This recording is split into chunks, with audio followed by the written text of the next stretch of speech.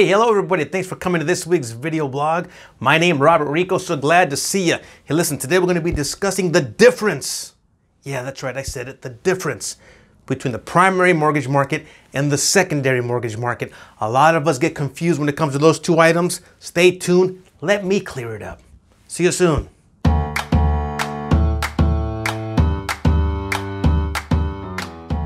All right, hey, listen, when it comes to real estate terminology, a lot of it can be confusing. But allow me to clarify this next topic the primary mortgage market versus the secondary mortgage market. Completely different items, and I want you to make sure you're crystal clear when it comes to both. Ready? Let's start off with the primary mortgage market. What is the primary mortgage market? This is one of my favorite topics because it's pretty simple.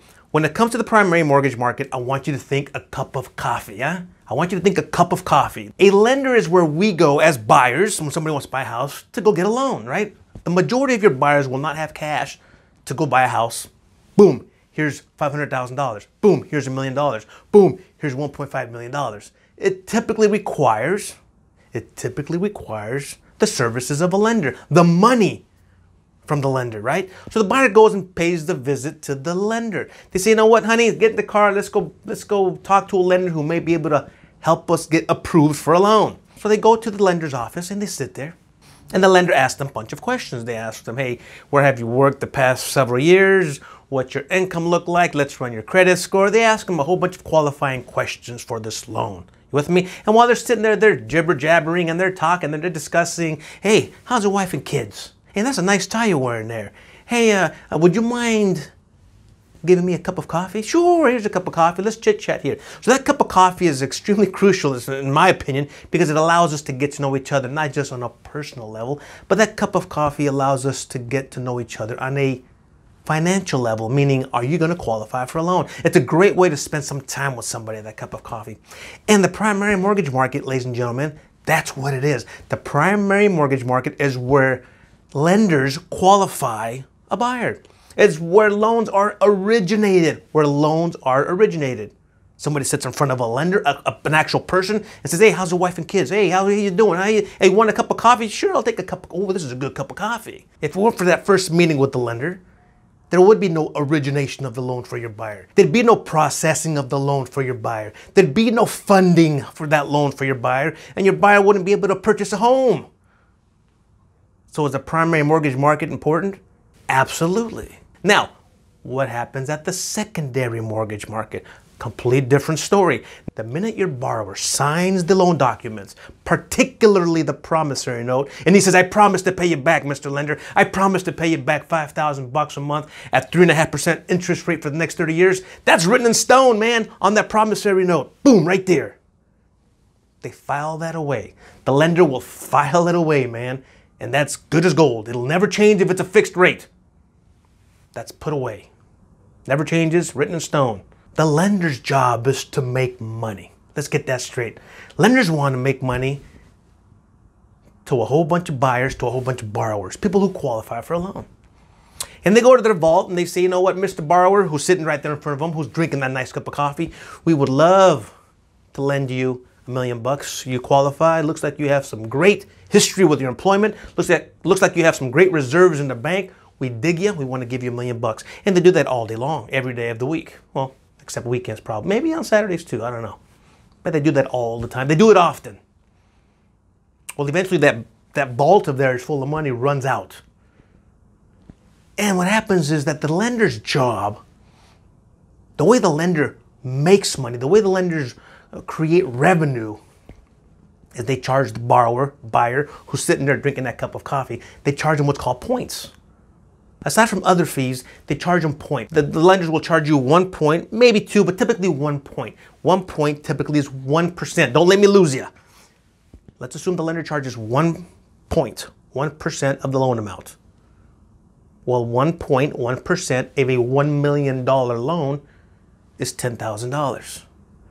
You got it? Nice and easy. Of a $2 million loan, that would be $20,000.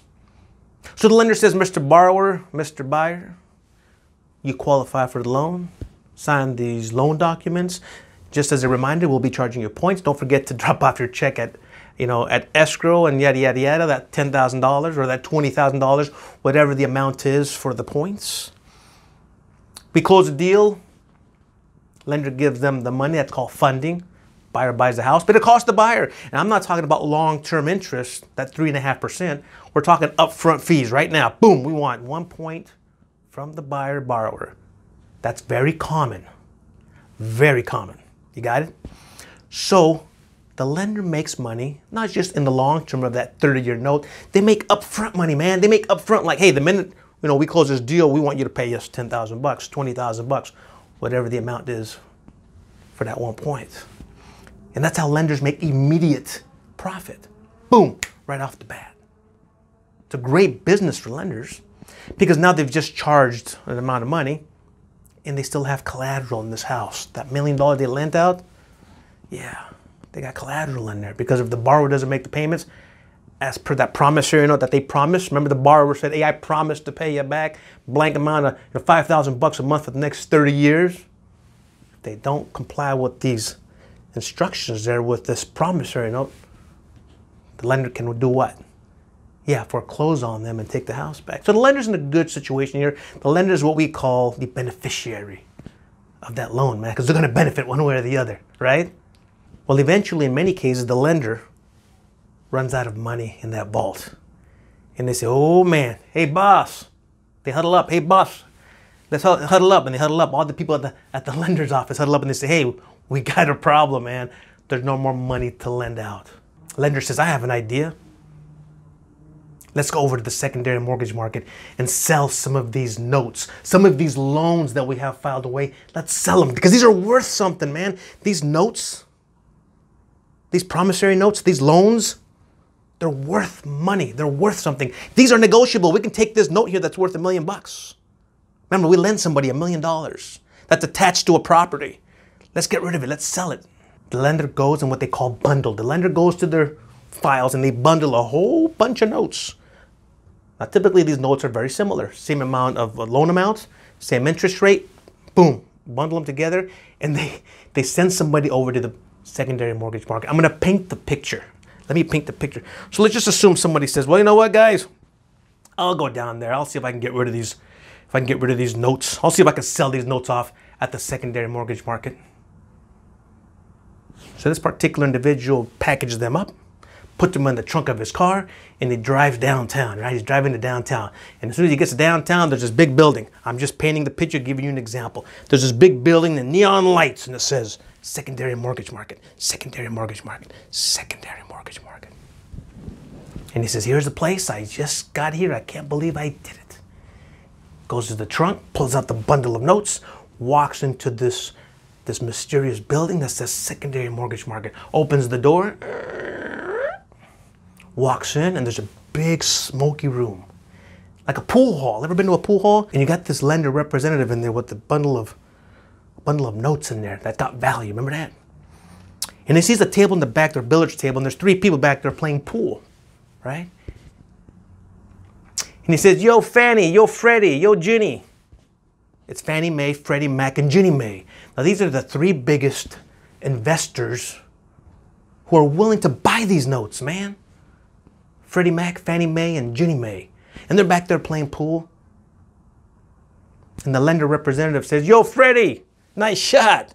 Hey, listen, I got a whole bunch of loans here. I was wondering if you wanted to buy them off of us at this resale marketplace in this smoky room called the secondary mortgage market, right?